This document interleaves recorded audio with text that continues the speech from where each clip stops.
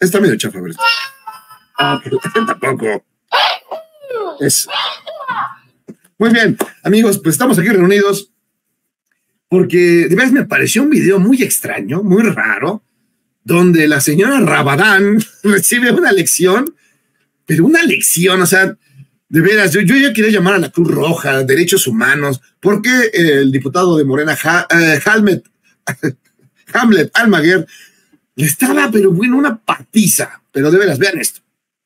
¿Qué quieren estar, digamos, preocupados por los pequeños centavos que, a, lo, digamos, viendo un presupuesto de 6 billones, o sea, 6 millones de millones de pesos, terminan siendo verdaderamente microscópicos. Comentarle a la audiencia, ¿para qué sirven estos centavos, como le llama la, la senadora? ¿En medio de 6 billones de pesos? Para empezar, no son 6 billones, son 9 billones para el presupuesto del 2024 y este año fueron 7.3, no son 6. Te quedaste desactualizada. Pero comentando sobre eh, para qué alcanzan estos 15 mil millones de pesos de los fideicomisos que se extinguen. Equivalen a 413 mil pensiones para adultos mayores. Es natural que por el ejercicio de las funciones la senadora no tenga conocimiento de la materia presupuestal, porque eso, repito, es facultad de la Cámara de Diputados. Eh, entonces no la culpo por no atinar en el tamaño del presupuesto. Pero el fondo que se queda dentro del Poder Judicial es el Fondo de Apoyo para la Administración de Justicia, de donde podrían salir todos estos beneficios para los trabajadores si les importaran los trabajadores a la cúpula del Poder Judicial. Tiene 6.103 millones 992 mil pesos. ¿A qué equivale? Al 100% del presupuesto de la Suprema Corte de Justicia de la Nación.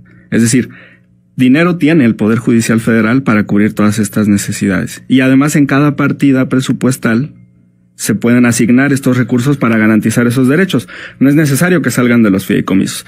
¿Qué van a hacer con la lana?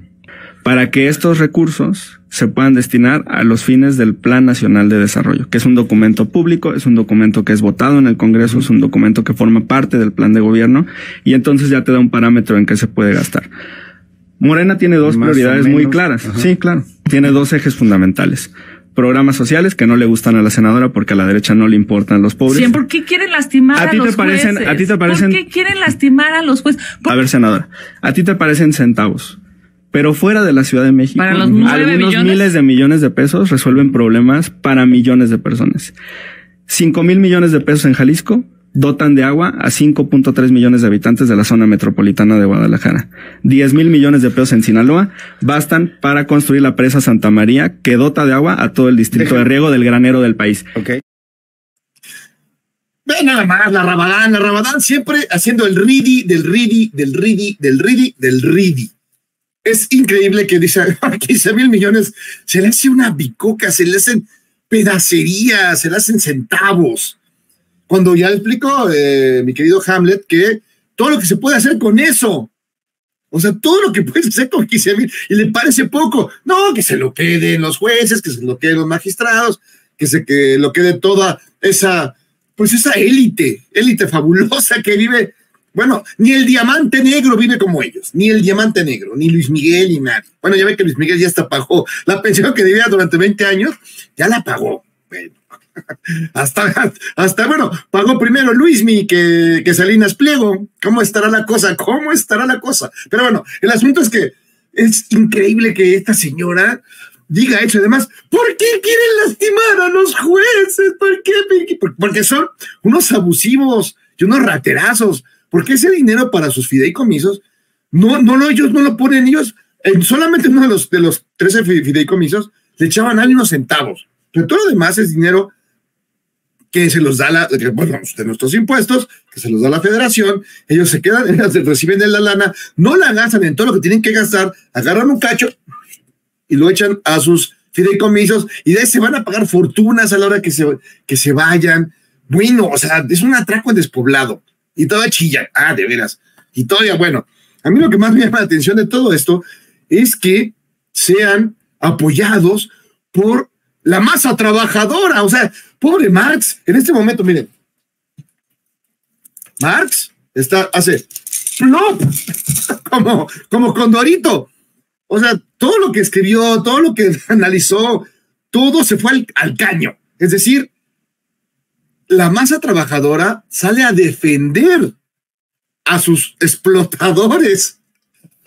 o sea, no manchen. O sea, la masa trabajadora sale a defender a, sus explotadores, personajes con toga y birrete, que no les van a compartir ni un clavo, pero ni un clavo de sus, sus nada pigües ganancias, o sea, de veras.